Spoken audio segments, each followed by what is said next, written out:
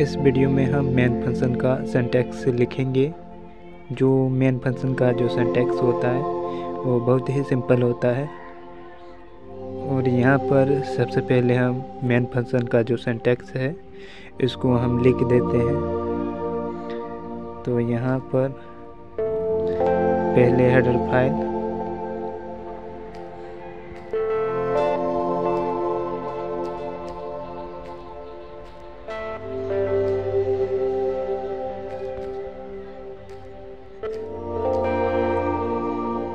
include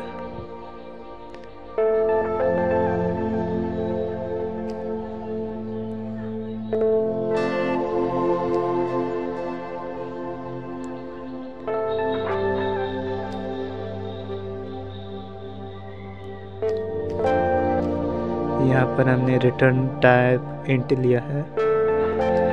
इसके बाद यहाँ मेन फ़ंक्शन लिखेंगे। ये हमारा मेन फ़ंक्शन है। तो इसके आगे हम डबल कोस्ट लगा देंगे। और नीचे में इस फ़ंक्शन का बॉडी होगा। और इसी बॉडी के अंदर हम मेन फ़ंक्शन को डिफाइन करते हैं।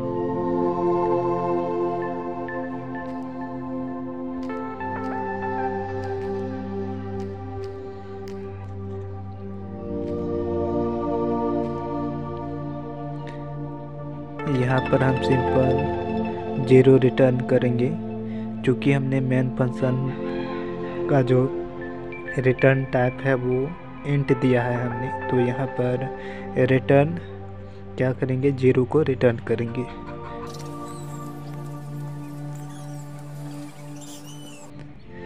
तो जो सेंटेक्स होता है मेन फ़ंक्शन का, इसी तरीके से यहाँ पर ऊपर साइड में हम हेडर फ़ाइल इंक्लूड करते हैं। जो हेडर फ़ाइल का नाम होता है, वो इस वाले चिन्ह के अंदर हम हेडर फ़ाइल का नाम लिखते हैं। तो यहाँ पर हम कौन सा हेडर फ़ाइल लेंगे? S T D I dot H header file लेंगे। तो इसको हम लिख देते हैं हेडर फ़ाइल का नाम।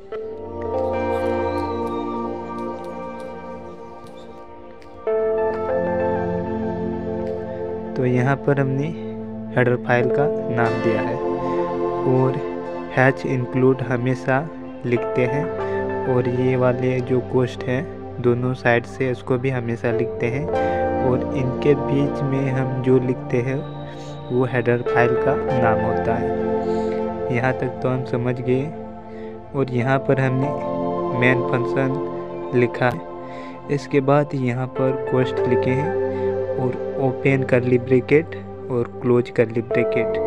ठीक है? और ये मेन फ़ंक्शन का बॉडी बन गया। और लास्ट में हमने रिटर्न ज़ीरो लिखा है। क्योंकि हमने यहाँ पर इंट लिखा। यहाँ पर इंट लिखने का मतलब ये है कि मेन फ़ंक्शन इंटीजर टाइप का वैल्यू रिटर्न करेगा। तो यहाँ पर हमने रिटर्न किया लास्ट में ज़ीरो तो ठीक है यहाँ तक तो प्रोग्राम अगर हम चाहते हैं कि यहाँ कुछ भी रिटर्न ना हो तो इसके लिए यहाँ पर जो है, क्या करेंगे? इंट की जगह। यहाँ पर इंट की जगह हम लिखेंगे वॉइड तो वॉइड यहाँ पर लिख देते हैं। बी ओ आई डी ठीक है। तो यहाँ पर जब हम वॉइड लिखते हैं तो हम यहाँ पर यहाँ पर वर्ड लिखने का मतलब ये है, यहाँ पर वर्ड लिखने का मतलब ये है कि हम लास्ट में कुछ भी रिटर्न नहीं करने वाले हैं, यानी मेन फ़ंक्शन जो है, कुछ भी रिटर्न नहीं करेगा तो इसको नहीं भी लिख सक, नहीं लिखेंगे। ध्यान रहे, अगर हम यहाँ पर मेन फ़ंक्शन का रिटर्न टाइप वॉइड लिखते हैं तो लास्ट में कुछ भी रिटर्न नहीं करेंगे, ठीक है? और अगर हम यहाँ पर इंट लिखते हैं रिटर्न टाइप तो यहाँ पर पिछले बार जो हमने लिखा था रिटर्न ज़ीरो वो लिखना पड़ेगा। या ज़ीरो के अलावा कुछ और इंटीजर वैल्यू को आप रिटर्न कर सकते हैं। ठीक है, ये हमारा जो है मेन फ़ंक्शन का सेंटेक्स है। हमने पिछली बार कॉपी में समझा था, वही वाला। यहाँ पर कोडिंग करेंगे। तो यहाँ पर कोडिंग करते हैं, जो पिछली बार हमने कॉपी में समझा था तो यहाँ पर C L R C L R S C R ये हमारा फ़ंक्शन का नाम है और इसको सेमी कोलन देंगे। तो इसका मतलब ये है कि हमने यहाँ पर जो लिखा इसका मतलब ये है कि हमने C L R S C R function को कॉल किया है। ठीक है, इसके बाद सबसे पहले यहाँ पर हम कमेंट करेंगे। इसको कमेंट कर देते हैं ताकि हम प्रैक्टिकल देख पाएँ कि इसका जो काम है, वो क्या है। ठीक है, इसको कमेंट कर दिया। कमेंट करने का मतलब ये है कि कंपाइलर इसको रीड नहीं करेगा। यानी इसको इग्नोर कर देगा या स्किप कर देगा। इसको रन नहीं करेगा। अब हम दूसरा कोड लिखेंगे प्रिंट ऐप का। तो यहाँ पर जो है प्रिंट ऐप फ़ंक्शन पर एक मैसेज पास करेंगे। वो मैसेज स्क्रीन पर प्रिंट होगा। तो यहाँ पर प्रिंट ऐप फ़ंक्शन को कॉल कर लेते हैं। P R I N T F और यहाँ पर कोस्ट लेंगे। और इसके बीच हम डबल कोमा लगाएँगे। डबल कोमा लगा दिए। और जो मैसेज हम पास करेंगे यहाँ पर, वो डबल कोमा के अंदर से ही होगा। तो यहाँ पर हेलो वर्ड लिख देते हैं।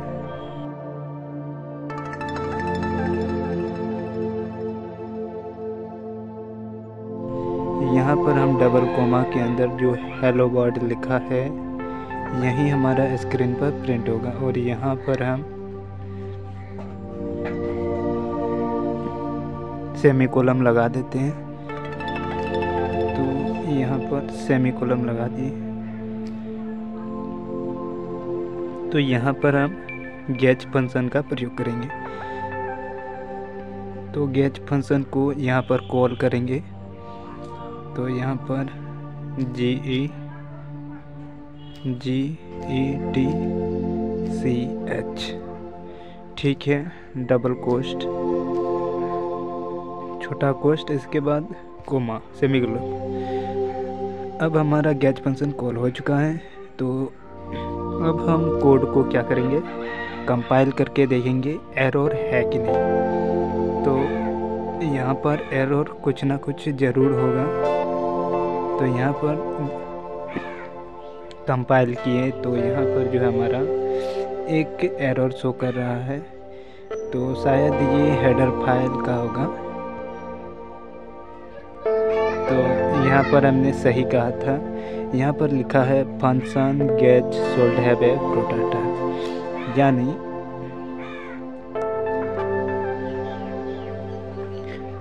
दोस्तों, जो एरर आया था, वो एरर क्यों आया था, इसको पहले समझेंगे। ये जो गैच है, ये एक फ़ंक्शन है, ठीक है? ये क्या है? Predefine function. है यानी इसको पहले से ही डिफाइन किया गया है। और C L R S C R function भी प्री डिफाइन फ़ंक्शन है, जो पहले से डिफाइन किया गया है। और प्रिंट भी एक फ़ंक्शन है, जो पहले से ही डिफाइन किया गया तो यहाँ पर जो है include S T D I O dot H ये एक हेडर फ़ाइल है, जो ये प्रिंट एक फ़ंक्शन है। इस फ़ंक्शन को S T D I O dot H header file में डिफाइन किया गया है। तो यहाँ पर हम प्रिंटेब फ़ंक्शन का इस्तेमाल कर रहे हैं। तो इसलिए हमें यहाँ पर ये प्रिंटेब फ़ंक्शन जिस भी हेडर फ़ाइल में डिफाइन है, उसको यहाँ पर हम, हमें लिखना पड़ता है ऊपर साइड में। हेडर फ़ाइल को यहाँ पर लिखना पड़ता है। तो यहाँ पर गैच फ़ंक्शन जिस भी हेडर फ़ाइल में डिफाइन है, उसको यहाँ पर हमें देना पड़ेगा। तो यहाँ पर एक हेल्प लेंगे कि गेज फ़ंक्शन कौन से हेडर फ़ाइल में डिफाइन है। तो यहाँ पर एक साइड में हेल्प का ऑप्शन है और यहाँ पर टॉपिक सर्च पर जाएँगे और यहाँ पर लिखेंगे getch G E T C H enter कर देंगे। तो यहाँ पर बता रहा है कि ये गेज फ़ंक्शन जो है conio dot H header file में डिफाइन है। तो इसी गेज फ़ंक्शन को यहाँ पर हमें डिक्लेयर करना पड़ेगा। तो यहाँ पर डिक्लेयर कर लेते हैं। Hash include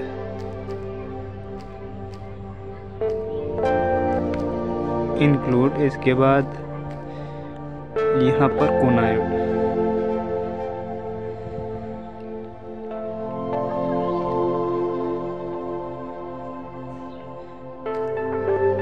C O N I O dot H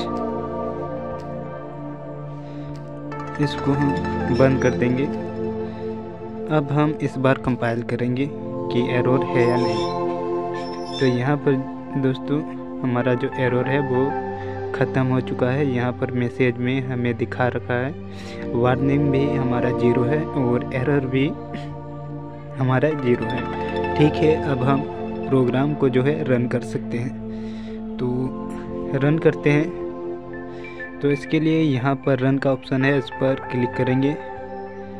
तो यहाँ पर दोस्तों, हमारा जो रिज़ल्ट है, यहाँ पर हेलो वर्ड सबसे नीचे लिखा हुआ है। लेकिन साथ में जो है, कुछ यहाँ पर मैसेज भी आ गया है आउटपुट विंडो में।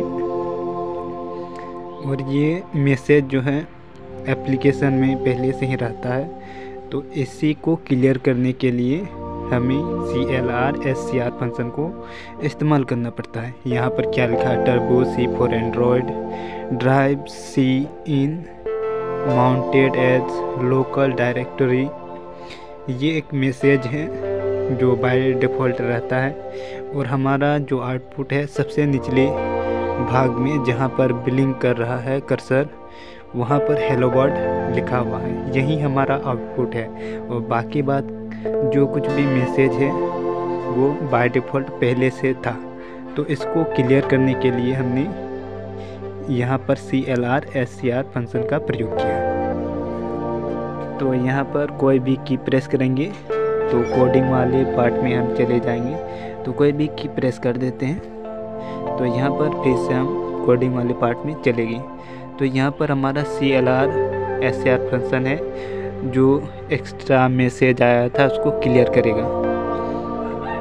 इसीलिए यहाँ पर फ़र्स्ट में C L R S R function का प्रयोग किए हैं। तो इसको यहाँ से कमेंट हटा देते हैं। अब हमारा जो कंपाइलर है, वो C L R S C R function को भी रीड करेगा। तो यहाँ पर फिर से कंपाइल करके देखेंगे।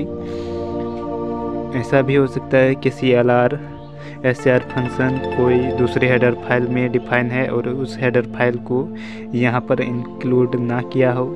तो इसके लिए हमें चेक करने के लिए एरर है कि नहीं तो यहाँ पर कंपाइल का ऑप्शन है, इसको क्लिक करेंगे।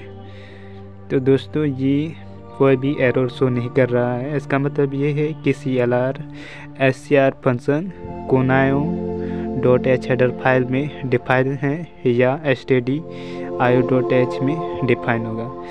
तो अगर आप जानना चाहते हैं कि कौन से हेडर फ़ाइल में डिफाइन है तो यहाँ पर आप हेल्प ले सकते हैं।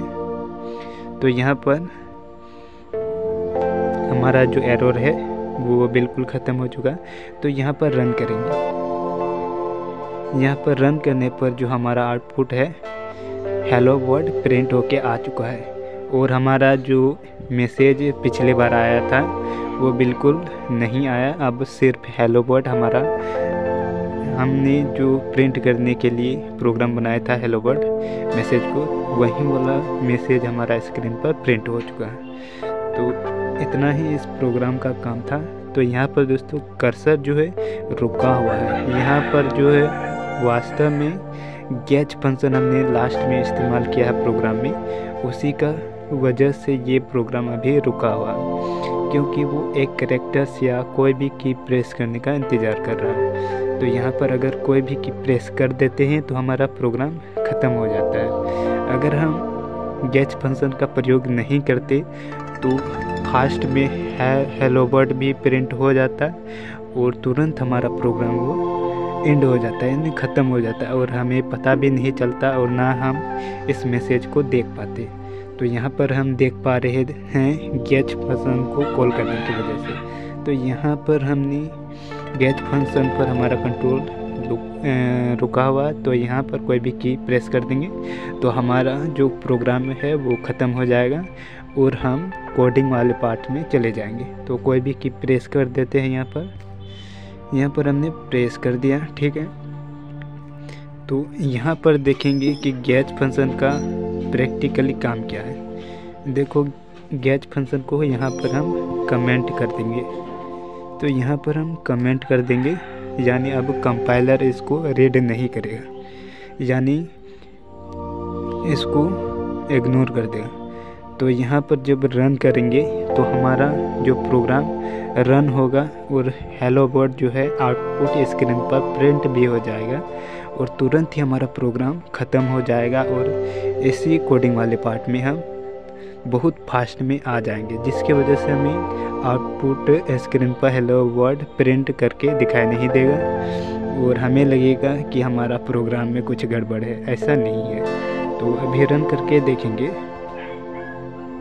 देखो, थोड़ा सा हल्का सा ब्लिंक हो गया है।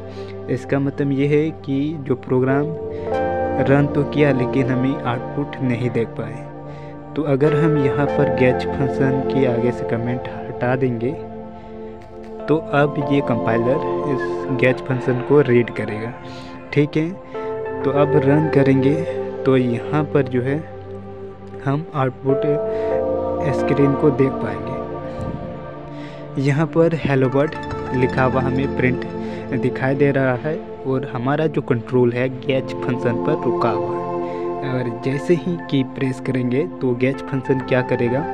उस की यानी मान लेते हम ई हम प्रेस करते हैं तो उस की वर्ड को कैरेक्टर्स को कैच करेगा गैच फ़ंक्शन और गैच फ़ंक्शन का काम कंप्लीट हो जाता है और प्रोग्राम हमारा जो है, ख़त्म हो जाता है एंड हो जाता है। तो यहाँ पर हम की जो है प्रेस नहीं किए हैं, इसलिए हमारा प्रोग्राम गैच फ़ंक्शन पर रुका हुआ है और आउटपुट स्क्रीन पर जो कुछ भी प्रिंट रहेगा, उसको हम देख पाएँगे। तो यहाँ पर की प्रेस करेंगे तो हमारा प्रोग्राम जो है एंड हो जाएगा। यहाँ पर हमने की प्रेस किया, ठीक है।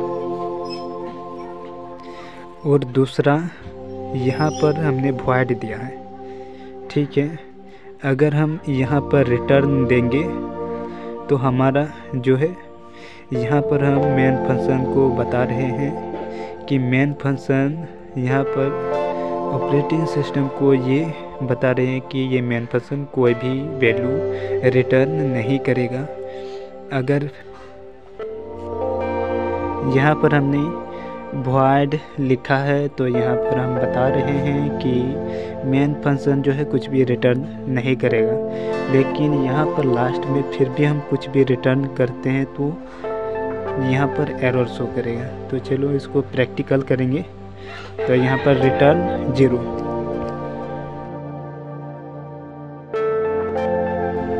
यहाँ पर हमने ज़ीरो को रिटर्न किया है तो इसको कंपाइल करके देखेंगे कि एरर है कि नहीं। तो यहाँ पर दोस्तों एरर आ चुका है, क्योंकि हम यहाँ पर पहले भी बता दिए हैं कि हमें कोई भी वैल्यू रिटर्न नहीं करना है। लेकिन हमने यहाँ पर फिर भी ज़बरदस्ती जो है इंटीजर टाइप का जो वैल्यू है, इसको रिटर्न किया है।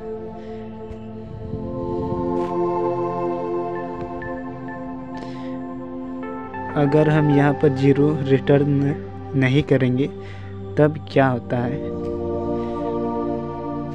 अब यहाँ पर कंपाइल करके देखेंगे।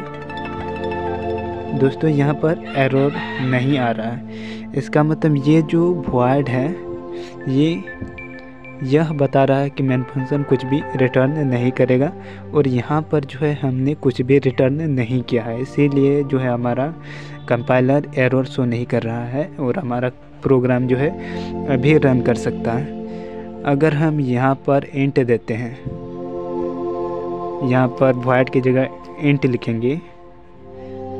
इंट यहाँ पर इंट हमने लिख दिया है। और सब मान लेते हैं, यहाँ पर हमने कुछ भी रिटर्न नहीं किया है। तो दोस्तों, इसको रन करेंगे ना, तब हमें एरर शो करेगा तो इसको पहले कंपाइल करेंगे। तो यहाँ पर जो है, हमारा एक वार्निंग दिखा रहा है, लेकिन यहाँ पर एरर नहीं है। क्योंकि यहाँ वार्निंग में हमें कहेगा कि कुछ ना कुछ आपको रिटर्न करना है। तो यहाँ पर आपको रिटर्न करने के लिए बोल रहा है, अगर आप इसको रन करेंगे तो कोड रन करेगा। और यहाँ वार्निंग से हमें यह बता रहा है कि आपको यहाँ पर रिटर्न करना है। तो अगर यहाँ पर रिटर्न करेंगे ज़ीरो तो हमारा जो कंपाइलर है, वो वार्निंग नहीं देगा। तो यहाँ पर रिटर्न लिखेंगे। रिटर्न टाइप नहीं देने की वजह से शो कर रहा है। तो यहाँ पर रिटर्न करेंगे ज़ीरो ठीक है? तो यहाँ पर ज़ीरो रिटर्न करेंगे। R A T U R N यहाँ पर हम ज़ीरो रिटर्न करेंगे। तो हमने यहाँ पर ज़ीरो रिटर्न कर दिया है तो इसको रन करेंगे कंपाइल करेंगे पहले। तो आप यहाँ पर देख सकते हैं कि वार्निंग भी हमारा ज़ीरो है और एरर भी हमारा ज़ीरो है। और जब हम कोड को रन करेंगे तो हमारा प्रोग्राम रन करेगा। तो यहाँ पर हम स्क्रीन पर हेलो वर्ड प्रिंट करके दिखाई दे रहा है तो यहाँ पर कोई भी की प्रेस करेंगे तो हमारा प्रोग्राम है वो ख़त्म होगा, ठीक है? यहाँ पर कंप्लीट हो चुका है।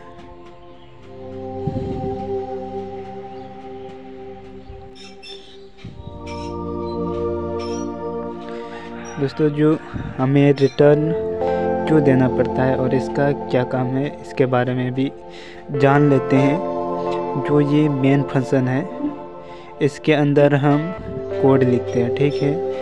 और ये मेन फ़ंक्शन जो है मेन फ़ंक्शन को कौन कॉल करता है? ऑपरेटिंग सिस्टम और ऑपरेटिंग सिस्टम मेन फ़ंक्शन को कॉल करता है। तो यहाँ पर जो है, जब मेन फ़ंक्शन को कॉल किया जाता है तो मेन फ़ंक्शन जो है एक्सक्यूशन स्टार्ट करता है। ऊपर से नीचे की तरफ़, यानी अप से डाउन की तरफ़। एक्सूसन स्टार्ट करता है।